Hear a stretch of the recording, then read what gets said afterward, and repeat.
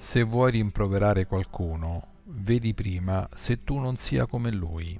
e se lo sei, piangi insieme con lui, non pretendere che egli ti obbedisca, ma comandagli e ammoniscilo che insieme con te si sforzi di emendarsi. Se invece non sei come lui, ricordati che forse lo sei stato in passato o saresti potuto esserlo, e quindi sii indulgente e rimproveralo non spinto dall'odio, ma dalla misericordia.